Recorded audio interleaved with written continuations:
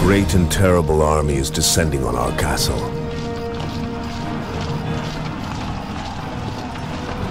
Called the Mamluks. They are soldiers slaves who fight for the Muslim faith in this land. Fear them. The Sultan who now leads them is Baybars, the mightiest warrior we've ever seen.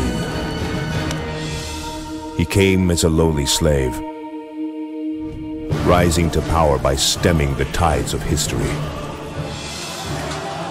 To crush the ruthless Mongol army. He used his cunning to sweep away all obstacles. Then seizing the reins of Mamluk power by assassinating Sultan Qutuz. Know this, nothing stands in his way.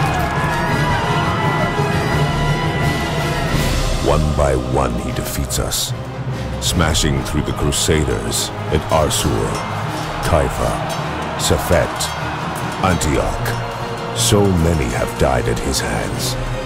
Now he rules all that you see, except this mighty castle. You must prevail. If he succeeds, all will be lost we will be driven out of Crac des Chevaliers and from this holiest of lands.